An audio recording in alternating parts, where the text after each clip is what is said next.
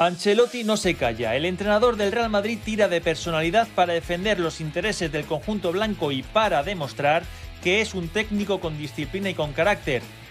Lo demostró en la imagen que dejó el partido de Copa contra el Villarreal con el toque de atención a Rodrigo cuando decidió sustituirle.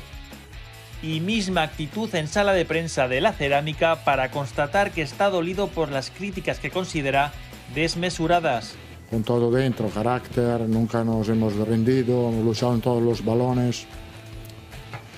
Ha cambiado. También vosotros creo que habéis cambiado el artículo.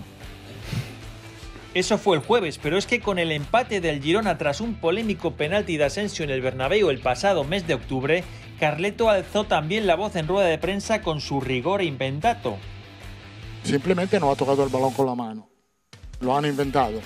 Esta temporada Ancelotti también ha querido mostrar su malestar por el césped de algunos rivales de Copa, como en el campo del Cacereño en 16avos de Copa.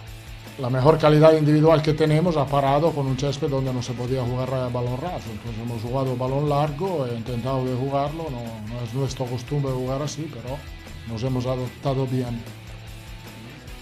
Ya lo saben, así es Carlo Ancelotti, un entrenador que no se calla.